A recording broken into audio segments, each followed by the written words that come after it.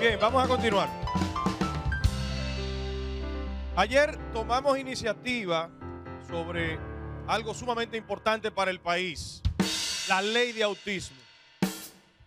Una propuesta que fue impulsada de nuestro programa por el compañero Graimer Méndez, que estaba aquí ayer, estuvo aquí ayer con nosotros y compartió esa experiencia tan positiva y sobre todo esa lucha que inició en nuestro espacio hoy ha tenido el resultado esperado. El Congreso, tanto la Cámara de Diputados como el Senado aprobaron inmediatamente sin modificaciones esta ley y solamente esperamos que el Ejecutivo también haga lo propio porque fue una promesa hecha el 27 de febrero de este año.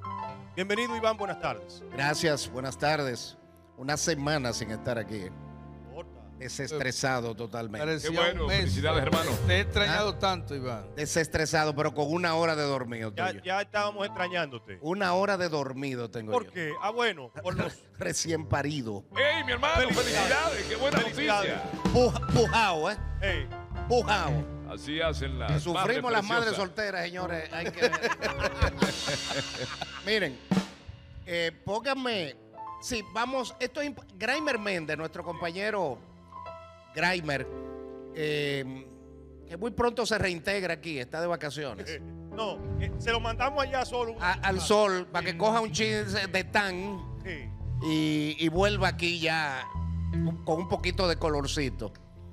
Em, todo el tiempo fue un abanderado de, eh, y promotor y- y activista, ¿no? De este movimiento para respaldar esta ley junto con nuestra amiga Miosotis. Yo le presento a Miosotis a, a Gray. pero- Miosotis es una amiga de... de- Pero es tan solidario que es miembro de la Fundación Damas de Negro. Sí. Pero, profesora, ¿qué pasa? Pero, eh, Esa es la fundación de nuestra amiga Miosotti tiene un Miosotis. niño, Miosotti tiene un niño muy especial. Sí. Y ella comparte mucho lo que vive con él. Ella es como una prueba fehaciente. De tiene una empresaria emprendedora, Totalmente. eh, eh, una gran mujer. Y, y bueno, también ha sido una activista en esta lucha. Y Graimer Méndez asumió esto y en el programa eh, lo hacía hasta que lograron el clímax de, de poder obtener o conseguir que se convirtiese en una ley. Iván, gasta, Eh. gasta 45 mil pesos una madre con un niño de espectro autista para poder darle un poquito de educación. Pero además de eso, es muy reducida la oferta que hay para solucionar y para aportar a esos niños o a esas niñas que Va- sufren. más adelante vamos a tener un invitado, Paz. Vamos a una transición. Se pide la transición a los fines de cambiar de tema. ¿Cuál es el tema ahora? Iván Ruiz. Ahí está el presidente abordando el avión sí. con los periodistas. Eh, vamos a ver qué dice el presidente ahí. Salud. Salud. Buenos días. Y el asesor. Pero yo oí como la voz de Anay ahí de la Hola, hola, ¿cómo están?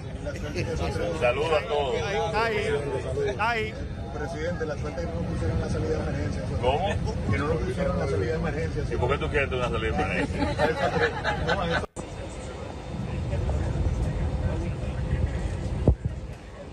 Bueno, decir que el presidente estuvo a las 9 y 23 abordando este avión con rumbo a Guyana. Un pueblo, una nación, un destino. Este país de América del Sur para establecer lazos comerciales y diplomáticos. Y sobre todo, va muy bien Guyana. sí, sí, Va tiene un muy bien. crecimiento impresionante. Allí se establece ya prácticamente una sede diplomática de la República Dominicana también, acompañado de varios empresarios dominicanos. Mira, eh, Guyana francesa Sí. eh, es un. No tiene ni un millón de habitantes. Creo que son 780 y algo mil, ¿no? Y ha tenido un boom económico que el presidente inteligentemente detectó a partir del descubrimiento de yacimientos petroleros. Dicen, dicen que tiene más que, que, que Kuwait Oh, y que los Emiratos Árabes. A ese nivel. Entonces, mira la visión del presidente de hacer este viaje con algunos empresarios y periodistas, crear allí, eh, creo que una embajada, ¿no? embajada, sí estableció O sea, no un consulado, una embajada. Estableció relaciones diplomáticas inmediatas con ese país. Porque el Producto Interno Bruto tiene un crecimiento asombroso de casi un 50%, creo que de un 47%. Sostenible, sostenible. Sostenible y increciendo, o sea, creciendo. Gracias a ese boom del yacimiento petrolero. Los países que crecen tan rápido también eh, eh, es un poquito peligroso.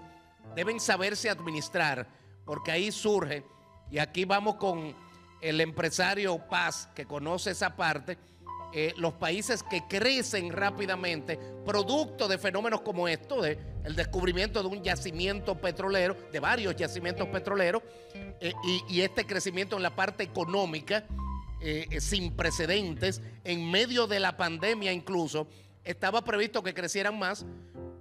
El señor, el señor habla duro y es como ñato él. Ay, Dios mío, ¿qué pasó ahí, Juan? Dime, Entonces, Iván. eh, Iván, cuando Pablo Escobar. No, no, no, estamos hablando no de sé lo que estaba hablando. Guyana, de Guyana francesa. Iván. Guyana francesa, incluso Venezuela está, está reclamando ese No se me puede interrumpir porque es que me, me, me redirecciono como para otro lado. Cables. estado recoge la palabra ñato, que ya no te luces. ¿Cómo es? No, no te luce a ti decir ñato. Ñato. Eso es una discapacidad. Yo soy ñato. No, no, pero eso es una Pero ya no, ya no vamos a hablar de Guyana francesa, de nada de esa. Vamos a hablar de los ñatos y de que no de decir los ñato. Es el ñato la vaina. No, no, no use esa palabra. No, pero hermano, pero, pero no hable de ñato, estamos hablando de Guyana francesa. Quien habló de ñato fue él. Que no puedo, pero, que, Eh, pero que deja que pasen las cosas también. No, no, no. Estamos ofendiendo gente. Él no sabe ni de qué va a hablar. Eh, estamos- Lo que pasa es que Iván está no te reseteando su a CPU Helman. No le vuelvo a de- decir ñato a Helman que es ñato. O sea, pa- para tener. No use esa palabra que ofende gente. Mira, como él es coordinador, él mismo dice que no lo enfoquen. Ah, pero así es el asunto. Él mismo dice que no lo enfoque. No lo creo.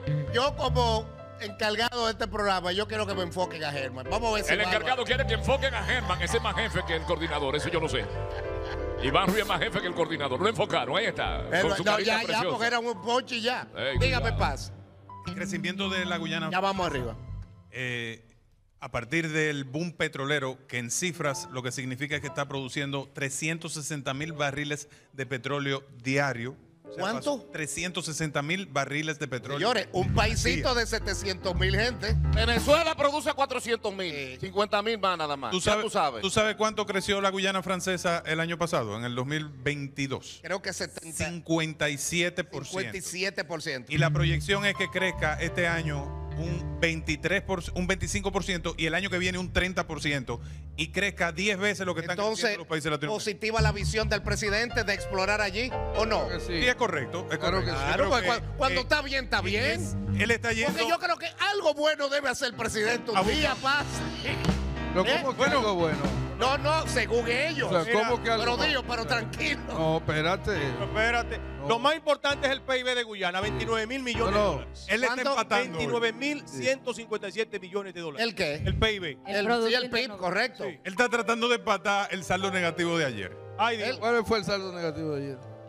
¿Y tú no viste lo que pasó? Pero ¿cuál fue el saldo negativo según Mira, tú? yo creo, yo creo que primero pasaron dos cosas. Ay, Dios.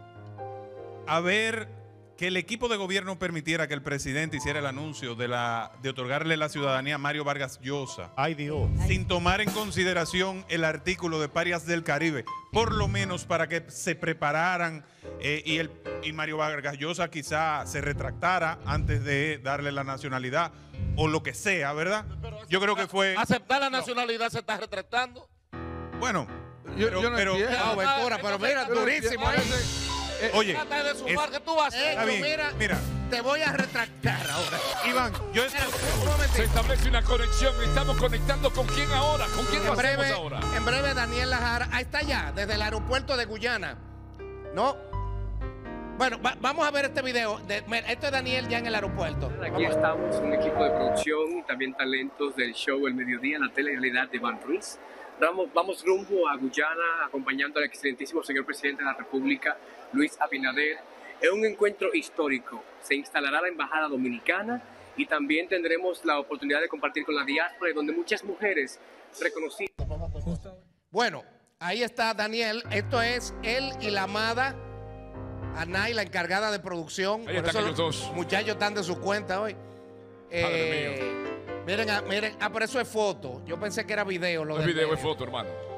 Y hay otro de la Amada que nunca había viajado, pues yo se lo voy a enviar. Ah, pero la Amada no había viajado, hermano. No, si yo no pongo eso. Ahora, en ahora. breve, Daniel. Lajara estará desde el aeropuerto de Guyana. tiene que traer algo. Claro, sea una Guyana de allá. ¿Qué, qué le trajo? Iván, Ajá.